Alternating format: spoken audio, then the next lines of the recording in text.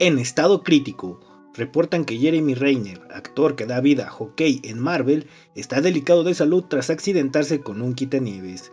¿Qué fue lo que le pasó? El mundo del espectáculo y en especial del universo cinematográfico de Marvel han encendido las alertas luego de que se reportara que Jeremy Renner, actor que da vida a Hockey, se encuentra en una situación crítica de salud tras sufrir un accidente en su hogar. Según lo informado por el representante del actor, el famoso superhéroe se encuentra en estado crítico pero estable. ¿Qué fue lo que le pasó? Según el mismo representante de Renner, todo ocurrió tras un accidente sufrido con un quitanieves, por lo que el actor resultó lesionado al intentar despejar la nieve sufriendo heridas graves. De momento, no se conocen más detalles de la naturaleza de su accidente, por lo que ante el reporte inicial, la preocupación en el medio es alta, mientras que los fans han mostrado su apoyo a través de redes sociales. De acuerdo con un comunicado de la oficina del sheriff, los elementos de emergencia respondieron a una llamada de por lesión traumática.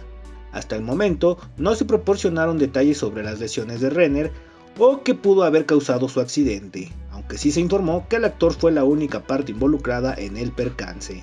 ¿Quién es Jeremy Renner? Jeremy Renner, de 51 años, ha sido nominado a dos Oscars por sus papeles en Vivir al Límite y Ciudad de Ladrones. También interpretó el papel de Clint Barton, el superhéroe Ojo de Halcón, en varias películas de Marvel y en una reciente miniserie de Disney Plus.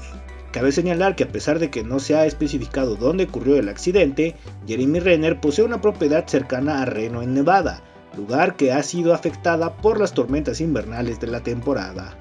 ¿Qué crees que suceda con el actor? Te leemos en los comentarios.